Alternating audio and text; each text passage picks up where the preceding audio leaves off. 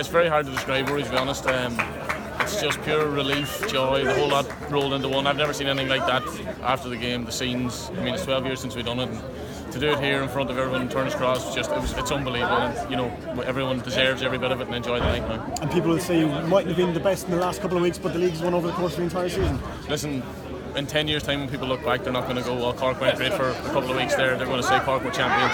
And that's what we are now. Um, we've deserved it over the course of the year. We've been the best team. Um, actually, Kenny Shiels, in fairness to him, came in after the game and he, you know, he said that to us. He said, just deserve it. And mm. fair play to him. He was very gracious. Um, so, look, phenomenal. Unbelievable. it's, hard, it's hard to describe. It's unbelievable. How nervous were you in the closing stages?